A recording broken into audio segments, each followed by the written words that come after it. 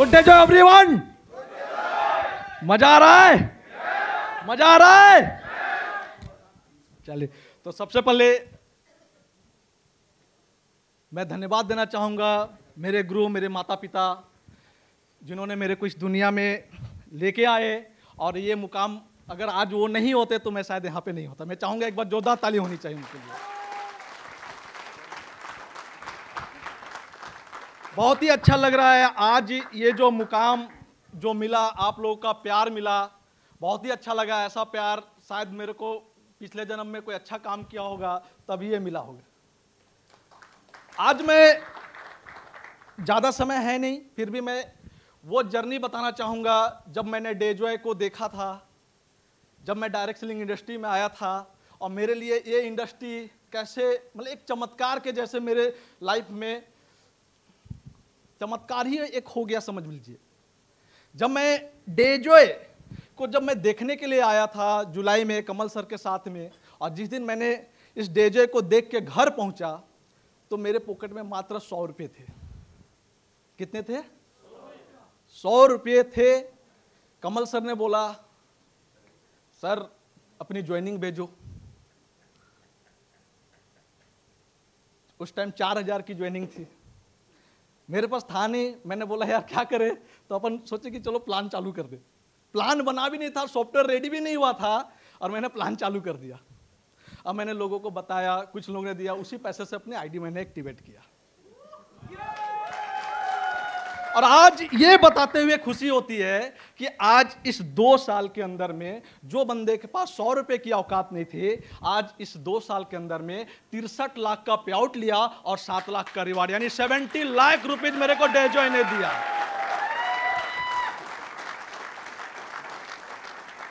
तो मेरे लिए डेजॉय क्या है? आप क्या मायने रखती है? क्या मैंने डेजो के ऊपर कैसे विश्वास किया था? मैंने जब अनमोल सर से मिला था तो मेरे पास फ़ील्ड करने के लिए भी पैसे नहीं थे। मैंने अनमोल सर को एक ही बात बोला था, सर प्याउ टाइम टू टाइम दीजिएगा। क्या देना है? प्याउ टाइम टू टाइम देना है। ऐसा नहीं कि, सर प्याउट बन गया फ्राइडे का समय, आप मंडे में। हमेशा सर से अगर लड़ाई होता है, इस मैटर में हुआ। मैंने पहले ही दिन जब मैंने दिव्यांग सर और अनमोल सर से मिला था, मैंने यही क्वेश्चन किया कि प्याउट टाइम टू टाइम देना। और मेरे पास इतने मेरे पास खोने के लिए कुछ था ही नहीं। खोने के लिए कुछ? जो भी था, पाने के लिए सिर्फ़ था। क्योंकि पीछे मेरे साथ ऐसा ही था, मेरा पिताजी 2000 मैं एक बहुत ही नलायक आदमी था। मतलब मैं आपको बताऊँ अपनी स्टोरी जब मैं कॉलेज मैं कॉलेज में जब पढ़ता था, मेरे को कोई मतलब नहीं है, पैसा, उसा, रोज़गार रोज़गार, मेरे लिए कोई भी मतलब नहीं रहता था। आपको मैं बताऊँ जब मेरे मैंने इंटर कंप्लीट किया। फ़र्स्ट ईयर में जब मैं एडमिशन लिया, जब ग्रेजुएशन का जब मेरा फाइनल ईयर था, मेरे को कभी मैंने कॉलेज गया भी नहीं था, केवल एडमिशन फॉर्म भरता था। आवाज़ आ रही है? तो मैं इतना नालायक था कि आज मैं कभी घूमने के लिए गया, कॉलेज के, चलो यार घूम के आते हैं, दोस्त लोग के साथ गया। वो वहाँ पे मैं जैसे ही गया तो पता चल रहा है यार एग्ज़ाम चल रहा है। मैंने बोला, यार एग्ज़ाम चल रहा है। तो फिर मैंने क्या किया, चलो यार एडमिट कार्ड मैं सोचा मेरा बाद में होगा, मैं एडमिट कार्ड ले लूँ। तो मैं ग्यारह बजे एडमिट कार्ड लिया, पता चल रहा है एक बजे एग्ज़ाम है। ने, पढ़ने लिखने में मेरे को कोई रुचि नहीं था। किसी भी तरह से अपना पूरी लाइफ पापा के बलबूते, बहुत ही इंजॉयमेंट पापा ने हमेशा हमेशा सपोर्ट किया। लेकिन एक ऐसा टाइम आया 2018 फरवरी, मेरे पिताजी का देहांत हो गया। मेरे को, मैं रोया भी नहीं, मेरे को समझ भी नहीं आया। मेरे तीन सिस्टर थे, मेरे को समझ में नहीं आया कि हम करें तो क्या करें। कुछ भी समझ में नहीं आया। मैं उस टाइम एक स्टूडेंट था ना मेरे को डायरेक्ट सेलिंग का अनुभव था, कुछ भी नहीं था। इसी टाइप से 2018 में मेरा एक दोस्त ने बताया, एक ऐसी कंपनी है जिसमें आप करोड़ों रुपया कमा सकते हो। कितने कमा सकते हो? करोड़ों कमा सकते हो। तो मैं तो ऐसे भी शॉर्टकट के चक्कर में रहता था, क्योंकि कोई तो पढ़ा लिखा तो कुछ है नहीं। हमेशा शॉर्टकट में रहता था। फिर अचानक उन्होंने बोला, भाई, यहाँ से तुम डेली का पचास हज़ार रुपया कमा सकते हो, महीने का पंद्रह लाख। मैंने बोला, यार, इससे अच्छा बढ़िया क्या है? मैंने बोला, चलो यार, अब तो बहन का शादी भी करना है, सब कुछ करना है। मैंने ज्वाइन किया। मेरे पास, मैं आपको पहले ही बता दूँ कि मेरा फोकस क्या था? सिर्फ़ मैंने काम स्टार्ट किया, इतने लोगों को मैं कभी डायरेक्ट सेलिंग के बारे में जानता भी नहीं था।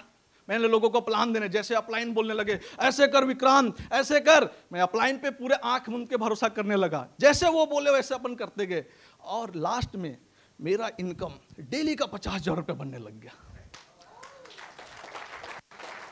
डेली का पचास हज़ार रुपये बनने लगा, महीने के पंद्रह लाख। एक लड़का, कुंवारा लड़का, कोई इन्वेस्टमेंट नहीं। पूरा इंजॉयमेंट से भरा। पचास हज़ार डेली डेली बीस हज़ार, तीस हज़ार ऐसे पानी की तरह पैसे उड़ाना फाइव स्टार होटल पैसा का मेरे को लगा, यार, पैसा कमाना इतना आसान है। कोई डाउनलाइन बोला, ये नहीं है, बोले बाइक ले लो तुम, जाओ। मेरे को अचानक क्या हुआ? कुछ दिन बाद पता चल रहा है कंपनी बंद हो गई। अब मेरे को यह भी पता नहीं कि कंपनी भी बंद होती थी। मेरे को यह भी पता नहीं कि कंपनी भी बंद होती है। अरे, मेरे को क्या पता? अपलाइन बोल रहा है यार यहाँ झूठ बोल रहा है, किसको पता? तो मैंने देखा यार, वो अपलाइन अपने फ़ायदे के लिए मेरे को यूज़ में यूज़ करते चला गया। अब ऐसा हालत हो गया कि जब 2019 में कंपनी बंद हो गई, मेरे ऊपर में लगभग तेरह करोड़ का लाइबिलिटी आ गया। मेरा बैक सपोर्ट कुछ है नहीं। करूँ तो क्या करूँ? फिर मैंने रिसर्च करने चालू किया, यार, इतना पैसा तो मैंने कमाया था। लगभग मैं छह महीने में पैंसठ लाख रुपया कमाया था। तो इतना आसानी से पैसा आ जाता है, मेरे को पता ही नहीं था। तो मेरे को लगा, यार डायरेक्ट सेलिंग होता क्या? फिर हम यूट्यूब में देखने लग गए। यार डायरेक्ट सेलिंग होता क्या है? फिर यूट्यूब से हमने देखा, बहुत सारे बड़े बड़े ट्रेनर बहुत सारे लोग बोले, यार, इस कंपनी में ज्वाइन जाओ इनके टीम में ज्वाइन कर जाओ, सफल हो जाओगे। मैंने ज्वाइन भी किया। क्योंकि बड़े बड़े कार यूट्यूबर में, पाँच लाख, दस लाख फॉलोवर उनके। तो मैंने देखा, यार, चलो जुड़ गया।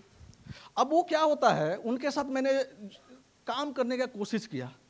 वो क्या करते हैं, सिर्फ़ और सिर्फ़ मीटिंग में आएँगे। मीटिंग में आने के बाद में उनका कहना होता है कि अगर आपको लाइफ में सफल होना है तो एक गुरु की ज़रूरत होती है। वो गुरु को ढूंढो। अगर वो गुरु आपको मिल गया तो लाइफ में आपको सफल हो जाएगा। तो हमने देखा यार एक गुरु की तलाश थी मेरी। तो मैंने बहुत, अपने गुरु बनाने के लिए मैंने बहुत ज़्यादा लोगों से मिला, बहुत सारे बड़े बड़े लीडर से मैंने मिला। तो मैंने एक चीज़ देखा, किसी को मैंने गुरु बनाना चाहा भी तो हुआ क्या? वो लोग स्टेज में आते, बोलते चले जाते हैं, ऐसा करो, वैसा करो, ये करो, वो करो, जुम में आते हैं बड़े बड़े बोल के चले जाते हैं। वो खुद पैसा, वो मेरे को यहाँ तक भी बोला गया, तुमको तीन हज़ार बीवी करना है, चाहे तुम किडनी बेचो, बेच दो, लेकिन तीन हज़ार बीवी तीस तारीख को होना चाहिए। मैंने बोला, यार, ये क्या मतलब है? और कब आएगा? अट्ठाईस, उनतीस, तीस। उससे पहले वो फ़ोन तक नहीं उठाएँगे, लेकिन उनतीस तीस जैसे ही क्लोजिंग आता है, उनका फ़ोन आता है, आज क्या बिज़नेस क्या है? ये क्लोजिंग क्या हो रहा है? मैंने बोला, ये सिर्फ़ बोलते हैं यार, मेरा प्रॉब्लम में तो साथ देते नहीं है। फिर बोला, फिर मैंने छोड़ दिया उनके साथ में। फिर मैं वैसे गुरु की तलाश की, जिन्होंने जैसे कहा जाता है ना, अगर महाभारत, अगर अर्जुन पांडव ने जीता तो उन्होंने अपने गुरु श्री कृष्ण को बनाया। और श्री कृष्ण उनको बाहर से लेक्चर नहीं देते, उस मैदान में खड़े होकर उनको जंग साथ में लड़के जिताया। वैसे गुरु, मैं भी वैसे ही गुरु की तलाश में था, कोई ऐसा गुरु मिले जो मेरे कदम से कदम मिला के मेरे को जंग तक, जंग जिताए। फिर मैंने, मैं आज उस वैसे शख्स मेरे को डेजॉय के माध्यम से मिले हमारे गुरु, हमारे mentor mister Kamaljeet Chaudhary sir. मैं चाहूँगा सर के लिए जोरदार तालीम होनी चाहिए।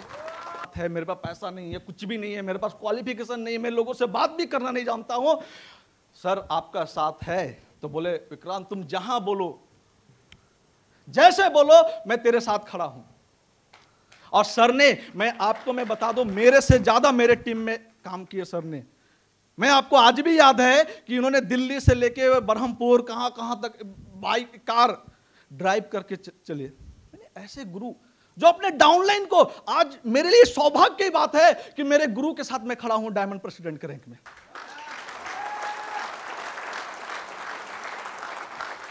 ऐसा सौभाग्य अपने गुरु के साथ में साथ में खड़े होने का सौभाग्य किसको मिलता है? आज एक ऐसे गुरु हैं जिन्होंने अपने साथ साथ अपने टीम को भी आगे बढ़ाने के लिए तत्पर रहते हैं। मैं नहीं देखता हूँ, आज मैं भी इन सर कितना फ़ील्ड नहीं कर पाता हूँ। सर से इसी जर्नी को मैं शुरुआत करते रहा, बहुत सारा सपोर्ट रहा हमारे अनमोल सर का, और मैं आज मेरे लाइफ का जो पहला चेंजिंग पॉइंट था, वो थे, वो उसको कराने वाले थे अनमोल सर। मैं चाहूँगा अनमोल सर के लिए जोरदार ताली। सर को पता नहीं याद होगा या नहीं होगा। सर ने मेरे को एक चीज़ बोला, एक दिन मेरे को सर का कॉल आया, विक्रांत इस महीने का टारगेट क्या है? टारगेट जब हम अपलाइन पूछता है या कोई भी पूछता है तो हम क्या बोलते हैं? बड़े बताते हैं। बताते हैं या नहीं बताते हैं? लेकिन उसका पूरा करने के टाइम लास्ट में लास्ट में नहीं हो पाता एक्सक्यूज देते हैं, ये फलना हो गया, ये हो गया, वो हो गया। एक दिन क्या हुआ, अपन जयपुर में प्रोग्राम था। कमल सर, मैं और हमारे एक साथी और थे, देहरादून से अपन बाय कार अनमोल सर के रूम में पहुँचे लगभग सुबह को तीन बजे। सर बोले, आ जाओ, मिल लो। मिलते ही सर भड़क गए। मतलब बिज़नेस क्या इस महीने का? तुमने क्या बोला था? क्या किया? फिर सर ने बोला कि, यार बिज़नेस तुमने जो कमिटमेंट किया था, उतना प्लान सो तक नहीं हुआ तो तुम उतना रिज़ल्ट का कहाँ से उम्मीद करते हो? सर ने उस दिन बोला कि अगर दस लोग को प्लान दोगे तो दो लोग आएगा। अगर तुमको हज़ार लोग की ज्वाइनिंग कराना है तो तुमको पाँच हज़ार लोग को प्लान दिखाना होगा। मैं ज़्यादा डायरेक्ट सेलिंग में मेरे से बहुत ही ज़्यादा एक्सपीरियंस लोग बैठे हैं 20 साल 25 साल 30 साल, मेरे पास कोई एक्सपीरियंस नहीं है। लेकिन एक जुनून था कि मेरे को इतना पता था कि मैं 10 को प्लान दूँगा तो दो व्यक्ति है ज़रूर आएगा। मैंने कुछ भी नहीं सोचा। मैंने सिर्फ़ और सिर्फ़ प्लान देने पर लगा रहा। आज मेरी गर्व की बात है कि मेरे पास वैसे टीम है आए। हमारे तन्मय सर, जो दूसरे कंपनी में ट्रेनर थे, सर ने भी हमारे मेहनत, हमारे टीम के साथ में ज्वाइन किया। खिलेश महतो सर सर ने आए, रतन सिंह देवर आए। हमारे साथ मोहन साहू जी आए, कुसुमलता पांडे मैम आए बदना सर आए, कादिर हुसैन जी आए, ऐसे न जाने कितने अच्छे अच्छे लीडर जो मेरे से कई गुना ज़्यादा पढ़े लिखे, मेरे से कई कई गुना ज़्यादा क्वालिफिक ऐसा कहीं होता है क्या? आपसे ज़्यादा पढ़े लिखे आपके साथ में काम करें? लेकिन ये डायरेक्ट सेलिंग में होता है दोस्तों। ये डायरेक्ट सेलिंग ही एक ऐसा इंडस्ट्री है कि आप अपने नीचे एक आई अफसर को भी काम करवा सकते हो। दूसरा, कोई भी ऐसा प्लेटफॉर्म नहीं है।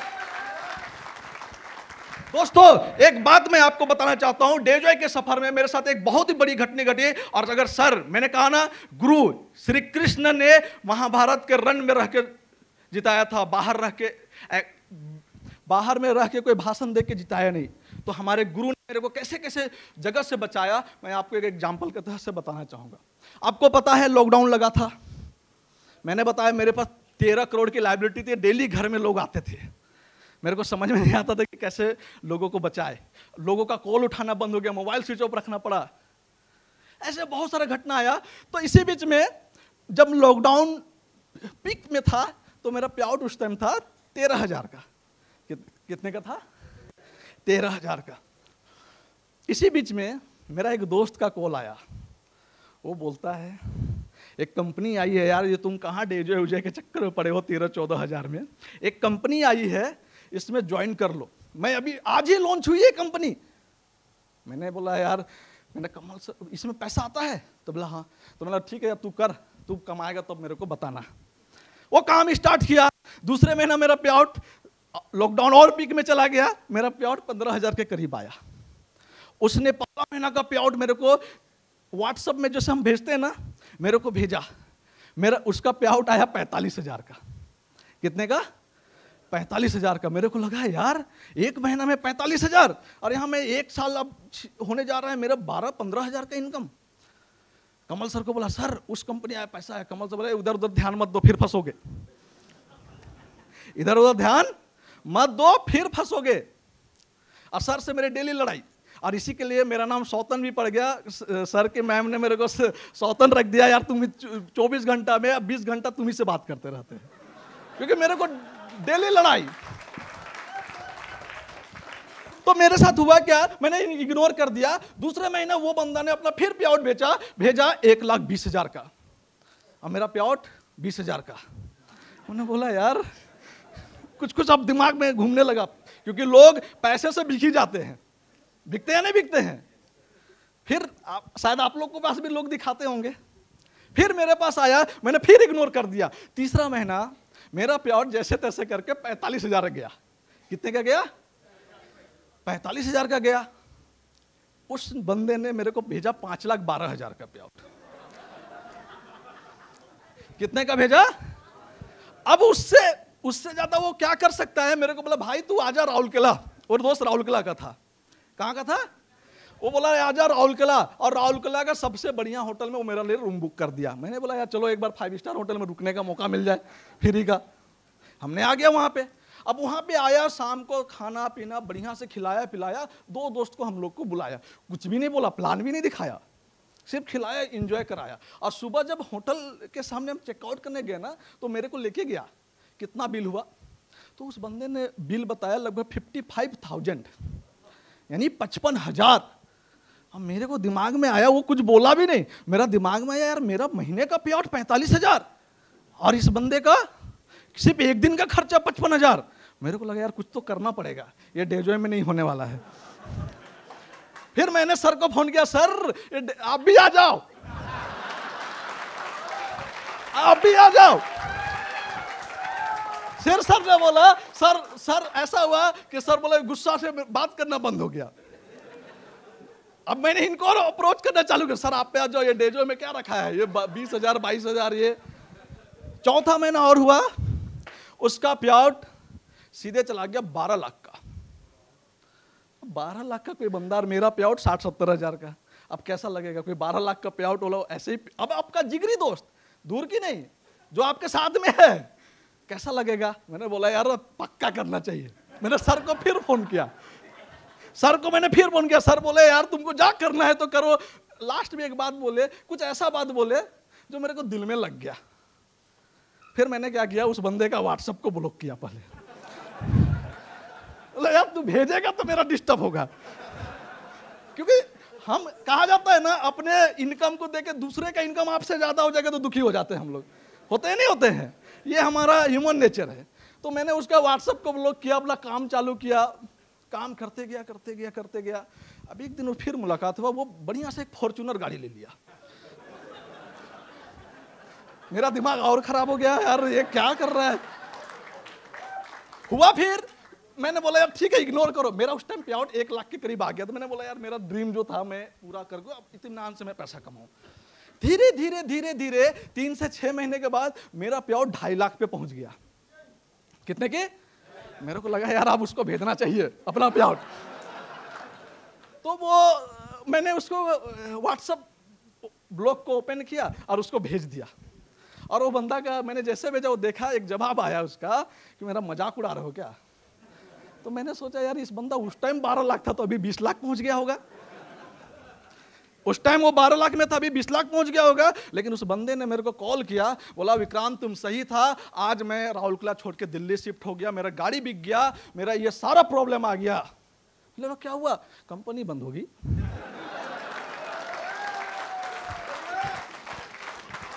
क्या हुआ? कंपनी बंद हो गई। मैं अपने गाँव, अपने मोहल्ले को चेहरा नहीं दिखा सकता हूँ। आज ऐसे हालत हो गई मेरी। आज मैं, हमारे गुरु, अगर शायद उस टाइम वो नहीं मेरे को बचाते तो आज मेरी क्या हालत होती आप सब? और वो दर्द, मैं आपको बताना चाहूँगा, एक ऐसे लालच में हम पड़ जाते हैं, अपना सोच आज भी आप फ़ील्ड में जाते होंगे, लोग दिखाते हैं, ये आ गया, वो आ गया, ऐसा हो गया, वैसा हो गया, और हम लोग लालच में फंस जाते हैं।